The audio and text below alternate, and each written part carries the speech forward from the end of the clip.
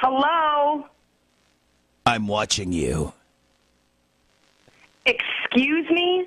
That's exactly what The Undertaker told John Cena. But will he be able to take the belt?